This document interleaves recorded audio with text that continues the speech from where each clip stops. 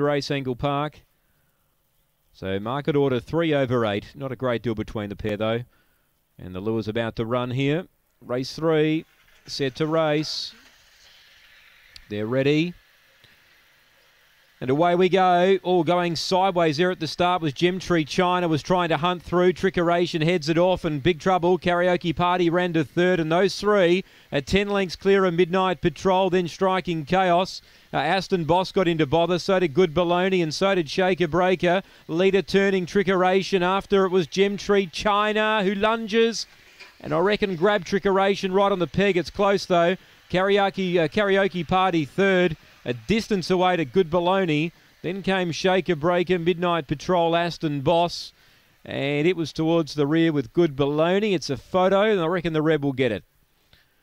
Number one, Gem Tree China has got it. Five second Trickeration.